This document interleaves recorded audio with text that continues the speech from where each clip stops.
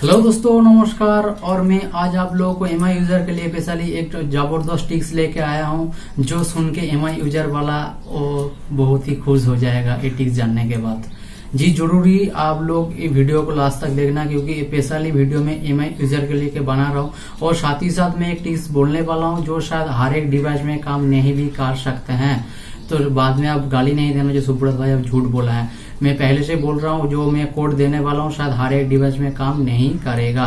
अगर चाहते हैं तो वीडियो का भी स्कीप कर सकते हैं। ये ओनली फॉर एमआई यूज़र के लिए साथ ही साथ मैं एक एडवांस टिप भी देने वाला हूँ, जो सुन के एमआई यूज़र को बहुत ही फ़ायदा होने वाला। चलिए तो मोबाइल स्क्रीन के ऊपर और देख लेते हैं ओ टिक्स क्या है।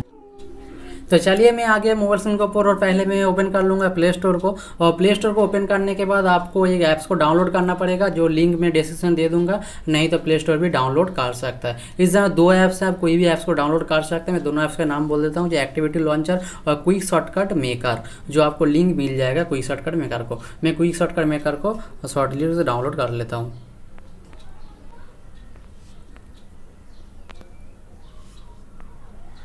क्विक शॉर्टकट मेकर को मैं डाउनलोड कर रहा हूँ तो क्विक शॉर्टकट मेकर आ गया तो उसको क्लिक करना क्योंकि मेरा पहले से इस डाउनलोड है तो मैं ओपन में क्लिक कर देता हूँ। और जैसे ओपन में क्लिक कर देता हूँ तो आपको इस जगह देख पा रहे interface input keyword to filter क्योंकि आप लोग तो जानते होंगे एम का बहुत सारा हिडन फीचर छुपा रहता है, जो इसके माध्यम से आप क्या, इसको ऑन कर सकते हैं। तो इस जगह मैं इनपुट करता हूँ, जो यूज़ स्टैटिस्टिक्स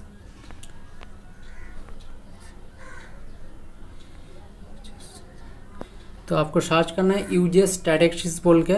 यूजेस स्टैटिक्स में सर्च कर लिया हूँ। सर्च करने के बाद आप लोगों के पास इधर आएगा जो सेटिंग्स बोल के।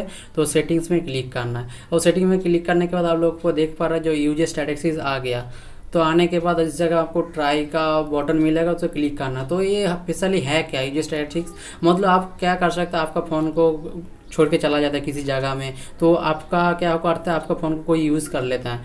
जैसे आपको पता नहीं चलता क्या करते उसको पूरा डाटा को क्लियर कर देते तो आपको पता नहीं चलता है जो कौन आपको फेसबुक का यूज़ किया, क्या कुछ भी ऐप्स को यूज़ किया, आपको पता नहीं चलता। लेकिन इसके माध्यम से क्या होगा? आपका पूरा डिटेल्स मिल जाएगा जो अब नहीं था। उसके वजह से आपको कौन, आपको फ़ोन का यूज़ किया था कौन सा कौन सा ऐप्स यूज़ किया था। ये तो पता नहीं चला जो कौन यूज़ किया, लेकिन कौन सा कौन सा ऐप यूज़ किया, आपको ज़रूर पता चल जाएगा। तो मैं ट्राई में क्लिक करता हूँ।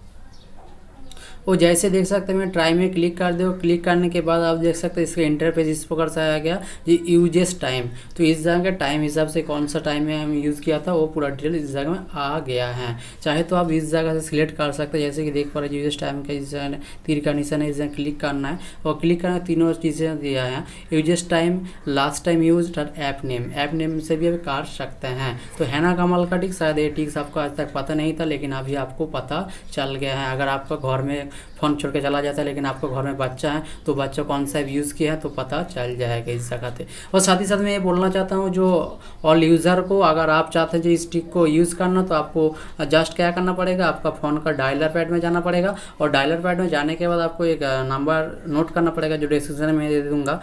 वो star hash star hash three six four six hash star hash star ये आपको डायल करना पड़ेगा और डायल करने के बाद शायद मेरा डिवाइस में वो काम नहीं कर रहा है। लेकिन शायद आपको डिवाइस में काम कर सकता है अच्छा से। ये काम करने के बाद आपको आ भी सकते हो। पॉइंट नहीं तो आ सकता ऐसे आएगा जो phone information one formation two या वाईफाई कनेक्शन इन्फॉर्मेशन या बेटर इन्फॉर्मेशन या यूज़र ऐसे किसी के फ़ोन में आ सकता है तो नहीं आ सकता है। मैं पहले ही बोल दिया जो ये टिक्स हर एक डिवाइस में काम नहीं करेगा, कुछ कुछ डिवाइस में काम कर सकता है। तो चलिए, चल जाता है दूसरा टिक्स का ऊपर कि दूसरा टिक्स भी वो भी पहले हम लोग का एम का सिक्योरिटी ऐप्स में मिलता था, लेकिन उसको अभी हटा दिया गया है।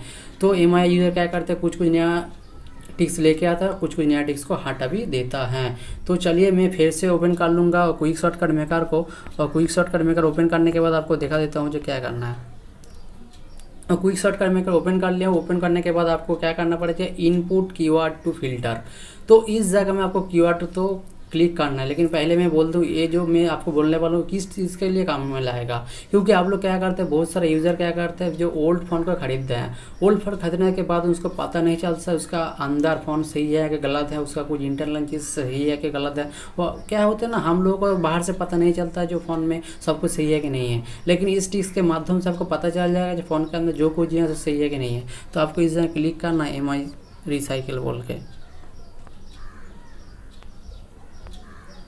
तो एम आई रिसाइकिल आपको सर्च करना है। जैसे एम आई रिसाइकिल आप सर्च करेंगे तो आपको इस प्रकार से आ जाएगा एम आई रिसाइकिल तो इस आने के बाद आपको क्लिक करना है एम आई रिसाइकिल में। जैसे क्लिक करेंगे तो आपको ट्राई में क्लिक करना है।